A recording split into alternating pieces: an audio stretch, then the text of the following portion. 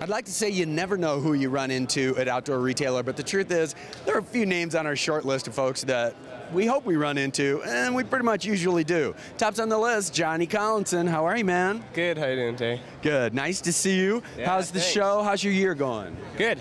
Super good. Uh, just been hanging out after ski season. Showed up to OR and uh, just cruising around, saying hi to folks. Right on. What a coincidence we run into you at Yeah. the Smith booth. Yeah. Right.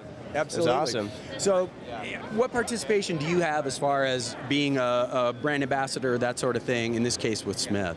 Um, for Smith, I basically just use all their product, push it. When people ask me about certain products, I know details about them, and basically just uh, share the love for Smith. Very cool. Are you excited for some snow to fly here Yeah. as soon as possible? Counting down the days. Right on. Have you been in the Southern Hemisphere at all? Nope, not yet. Hopefully headed down, but not too sure yet. Right on. Well, it's always good to see you, Yeah. brother. Take care of yourself. Have a great show, and Yeah. uh, I'm sure that we'll be seeing you again soon. Hopefully on Mountain Views of Park City Television. Yeah, totally. We'll see you around. Awesome. Take care, brother. Thank you.